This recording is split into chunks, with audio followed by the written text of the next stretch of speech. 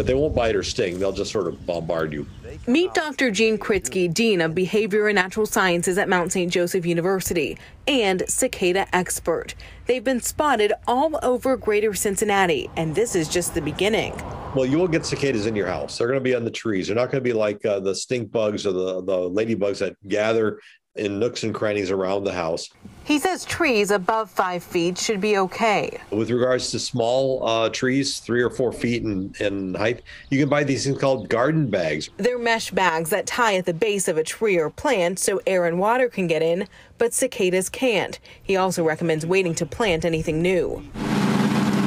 Cicadas are attracted to buzzing noises like a lawnmower or an air conditioning unit.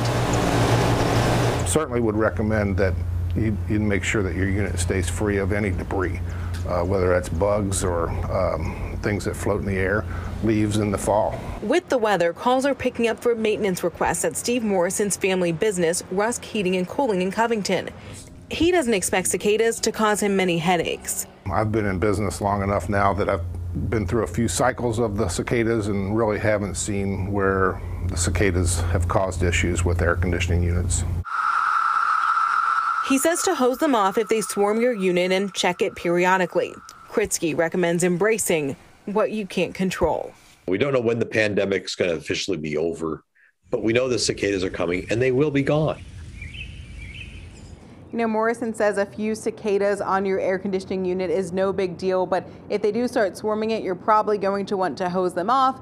And if they do cause any real problems, which he says is rare, you'll probably want to call a professional. Reporting live tonight, Jatera McGee, WLWT News 5.